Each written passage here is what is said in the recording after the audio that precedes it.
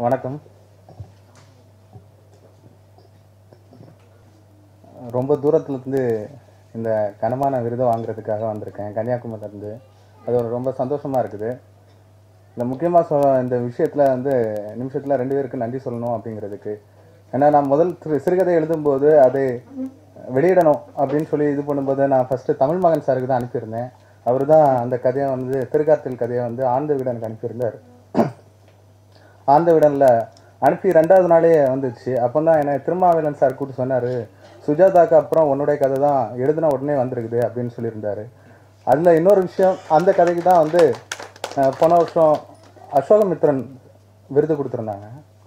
இல்லை இன்னொரு புத்தகம் வாசிக்கணும் அப்படிங்கிற ஒரு காலகட்டத்தில் ஒரு அது ஒரு அறியாத காலகட்டத்தில் என்ன புத்தகம் அப்படி வாசிக்கணும் அப்படி ஏன்னா எல்லாருக்குமே வந்து வாரமலர் தங்கமலர் சிறுவர் மலர் அப்படின்னு தான் வாசிக்கு என்னோடய வாசிப்பு தொடர்ந்துச்சு அப்போ புத்தகம்னா என்ன இலக்கியம்னா என்ன அப்படின்னு தெரியாமல் வாசி வாசித்தேன் ஒரு புத்தகம். அது வந்து ஆடு மாடு மனிதர்கள் ஏக்நாத்தோட முதல் புத்தகம். ஏக்நாத்தோட நான் வாசித்தது.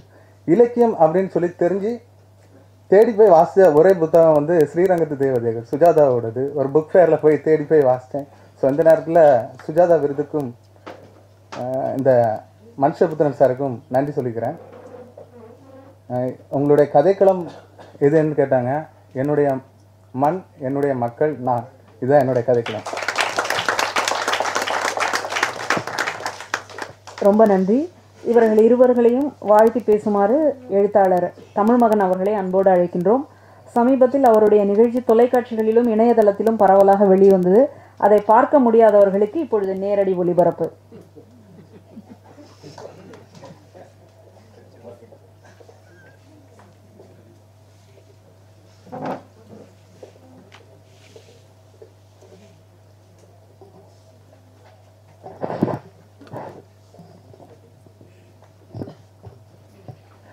நண்பர்களே அனைவருக்கும் வணக்கம்.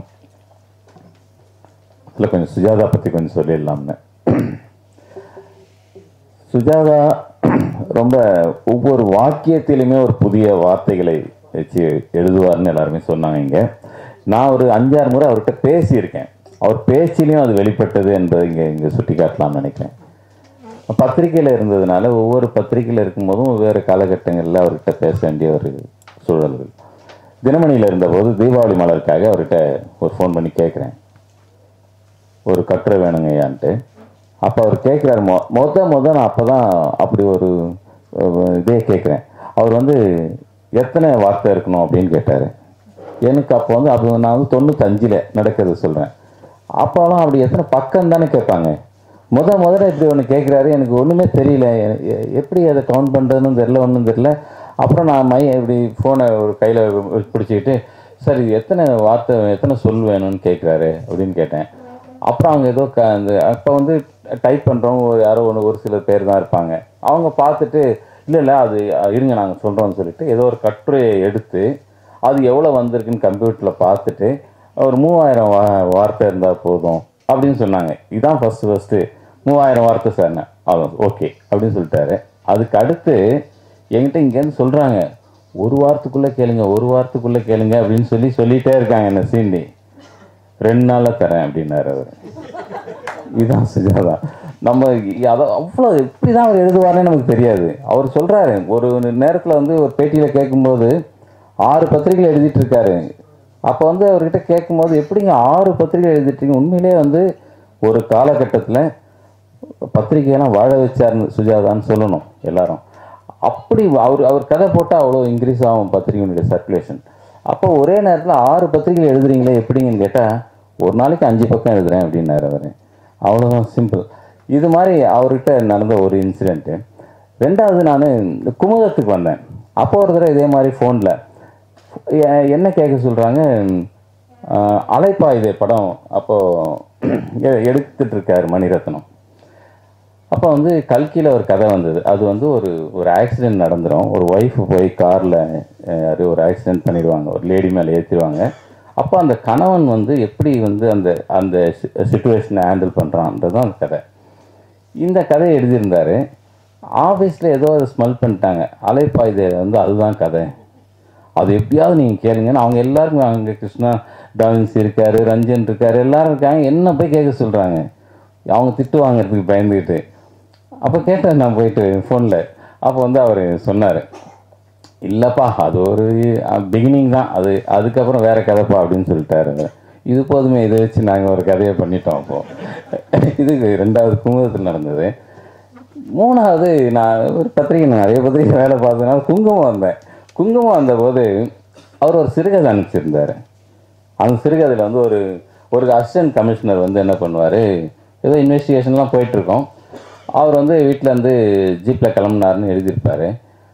அது வந்து வந்து முடியிற இடத்துல என்ன எழுதியிருப்பார்? ஆட்டோவை விட்டு இறங்கினாருன்னு எழுதிட்டாரு. நான் வந்து பெரிய ஒரு தப்பு கண்டுபிடிச்ச மாதிரி அவருக்கு ஃபோனை போட்டேன். சார் வந்து அவர் அசிஸ்டன்ட் கமிஷனர் வந்து இந்த மாதிரி ஜீப்பில் கிளம்புனாருன்னு இருக்குது சார் அப்புறம் வந்து ஆட்டோவில் வந்து இறங்கினாருன்னு இருக்குது சார் இது ஒரு தப்பாப்பா? ஜீப்புன்னு மாற்றிக்கேன் அப்படின்ட்டாரு. இது இதெல்லாம் போய் கேட்கணுமான்னு. அவ்வளோ ஈஸியாக ஹேண்டில் பண்ணார். இது ஃபோனில் நடந்த உரையாடல்கள். ஒரே ஒரு முறை அவரை நான் சந்தித்தேன் அந்த அம்மா இருக்கும்போதே சொல்லணும்னு நினச்சேன் அதை. அவர் வந்து வீட்டில் போய் பார்த்தேன். நான் வந்து குமுதத்தில் இருக்கும்போது டைரக்டர் சங்கர் பற்றி ஒரு தொடர் எழுதினேன். சங்கர் முதல் சங்கர் வரை அப்படின்னு இருக்கும் அது. அந்த தொடருக்கு வந்து முன்னுரை வந்து யார்கிட்ட கேட்கலாம்? நானும் சங்கரும் ஒரு மாதிரி டிஸ்கஸ் பண்ணி சுஜாதா கிட்ட கேட்டால் நல்லாயிருக்கும் அப்படின்னு சங்கர் சொன்னார். நான் போயிட்டு கேட்குறேன். சுஜாதா வீட்டில் போய் நின்ன உடனே என்னது? அப்படின்னு கேட்டார். நான் உட்கார கூட அவரும் உட்காரல என்னையும் உட்கார விடலை. அப்படியே நிற்கிறோம் அப்படியே நின்றுட்டு இருந்து இந்த மாதிரி சார் சார் சங்கர் பற்றி நான் எழுதியிருக்கேன். அதுக்கு முன்னுரை வேணும். ஆமாம் பார்த்தேன் அப்படின்னாரு. அதுக்கு முன்னுரை வேணும் சார்னு. அது சங்கரை பற்றி நல்லா தெரிஞ்சவங்கிட்ட கேளுங்க அப்படின்னு சொல்லிட்டாரு. சங்கர் கிட்ட ஒரு ஒரு அஞ்சாறு படம் ஒர்க் பண்ணிட்டாரு இவர். இப்போ வசந்த வாழ்ந்துருந்தா அதெல்லாம் தெரிஞ்சிருக்கும். அவங்க கூடவே இருக்கார். சார் நீங்கள் அப்படின்னு சொன்னேன் நான் அதுக்கப்புறம் வந்து எனக்கு இல்லைப்பா நல்லா தெரிஞ்சவங்க எதுனா தான் நல்லாயிருக்கும் அப்படின்னு சொல்லிட்டாரு. எனக்கு பெரிய ஏமாற்றம் அவ்வளோதான் அதுக்கப்புறம் அந்த கான்வர்சேஷன் முடிஞ்சிடுச்சு நான் அப்படியே நிற்கிறேன் சரியா? அப்படின்னு சொல்லிட்டு அவர் திரும்புகிறாரு எனக்கும் என்ன என்ன பண்ணுறேன்னு அதுக்கப்புறம் அங்கே நிற்க முடியல. அப்படியே திரும்பினேன். அப்போ வந்து நீ எஸ்ஏசிக்கிட்ட கேளு அப்படின்னு சொல்லிட்டு போனார். எஸ்ஏ சந்திரசேகரிட்டேன் அவர்கிட்ட தான் அவர் பதினேழு படம் ஒர்க் பண்ணியிருக்காரு சங்கர். இதை வந்து சொல்லிட்டார் போயிட்டாரு உள்ளே போயிட்டாரு. டம்முன்னு கதவு சத்த சத்தம் தான் கேட்டது. நான் அதோட வந்துட்டேன். எனக்கு பெரிய ஏமாற்றத்துக்கு அப்புறம் கொஞ்சம் கோபம் கூட வந்துச்சு சுஜாதா மேலே. அப்புறம் வந்து அப்படியே சங்கர்கிட்ட வந்தேன். வந்துட்டு சார் இந்த மாதிரி சொல்லிட்டாரு சார் அப்படின்னு. கரெக்டாக தான் சொல்லியிருக்காரு அப்படின்னாரு. அப்படியே இருந்தால் நானே எழுதிடுறேன் சார் நானும் ஒரு வீராப்பில் எஸ்எஸ்சியை விட எனக்கு உங்களை நல்லா தெரியும் சார் அப்படின்னு சொல்லிட்டு அந்த முன்னுரையை நான் தான் எழுதினேன் அந்த புக்கில் ரசிச்சார் அது வேற கதை.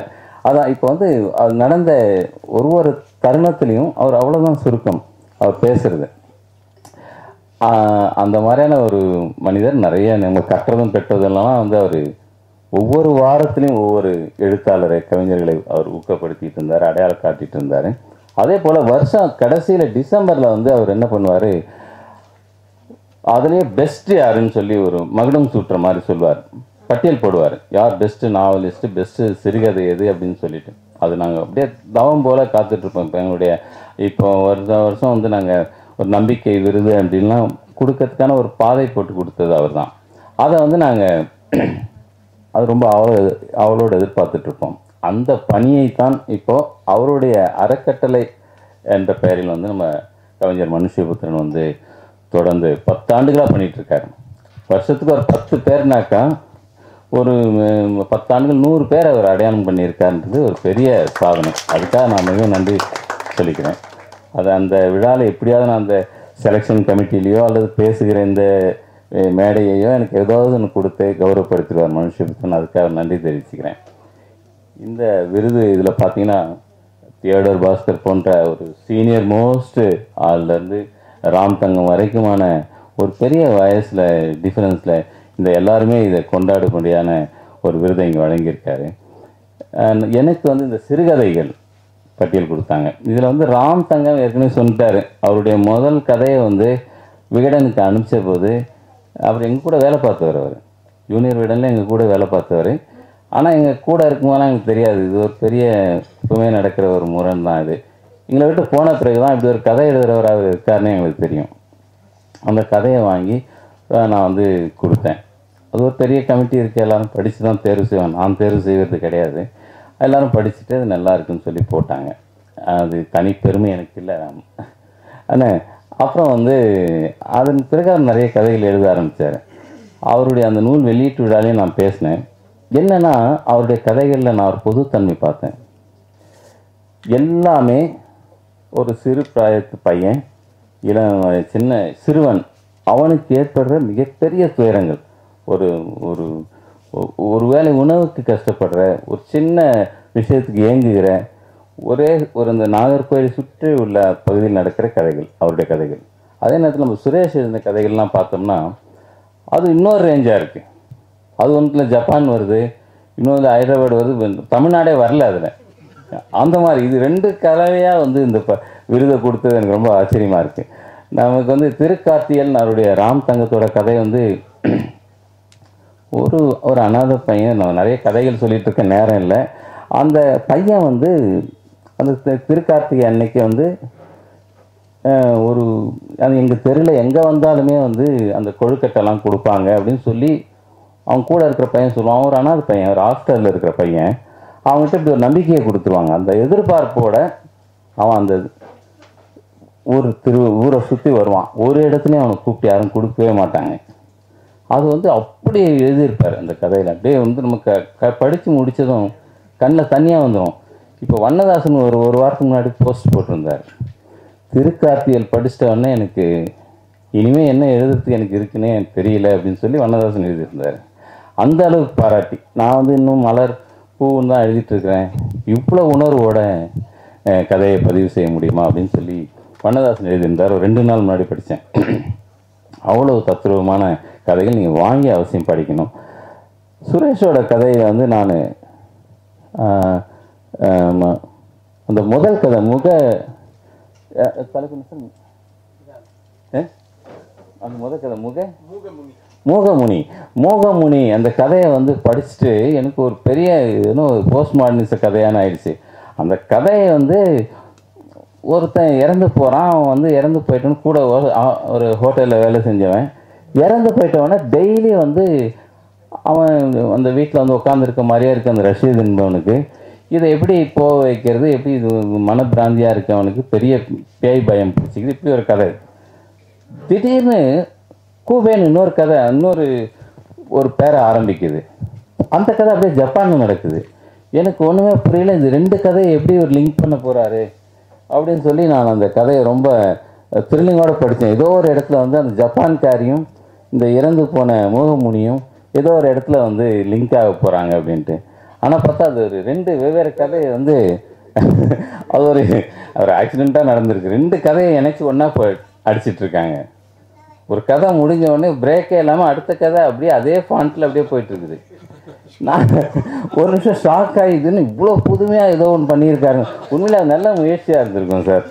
அந்த கதையை வந்து ஏதோ ஒரு இடத்துல அந்த பேயையும் அந்த ஜப்பான்காரையும் லிங்க் பண்ணிட்டு இருந்தான்னு வச்சிங்களேன். சுஜாதா ஒரு கதை பண்ணியிருக்காரு இந்த மாதிரி. ஒரு சரித்திர கதை நடக்கும். சரித்திர கதை நீங்கள் படிச்சிருப்பீங்கன்னு நினைக்கிறேன். ஒரு சரித்திர கதை வந்து அவன் வந்து அந்த இளவரசிக்கிட்ட அவன் வந்து இதாக இருப்பான். அவனை வந்து விரட்டிக்கிட்டே இருப்பா அந்த கதை அது முடிஞ்சு நீ நீ பார்வையிலே நிற்க கூடாது போடா அப்படின்னு சொல்லிடுவா. அந்த போர் வீரன் போயிடுவான். அந்த கதை. அதுக்கு அடுத்து இன்னொரு கதை வந்து சென்னையில் நடக்கும். இப்போ நடக்கிற கதை. அது வந்து அவன் ஏதோ மோசமான கவிதையை கொடுப்பான். அந்த கவிதைக்காக உன்னை வெறுக்கிறேன்டான்னு சொல்லி அவள் கத்துவா. இப்படியே ரெண்டு பேரும் சொல்லுவாங்க. ரெண்டு தனித்தனி பார்ட்டாக அது முடிஞ்சிடும் கடைசி ஒரு வரியில் என்ன பண்ணிடுவார்? நீ யாருப்பா இளவரசன் மாதிரி இருக்கியே? அப்படின்னு சொல்லி கேட்பான். மெட்ராஸ் பையன். பக்கத்து கதையில் விரட்டப்பட்டவன் அப்படின்னு சொல்லுவாங்க. அந்த மாதிரி ஏதோ ஒன்று பண்ண போகிறான்னு பார்த்தேன் சுரேஷ் வந்து. ஆனால் ரெண்டு தனித்தனி கதை நான் அப்புறம் புரிஞ்சுக்கிட்டேன். ரெண்டும் வந்து வெவ்வேறு.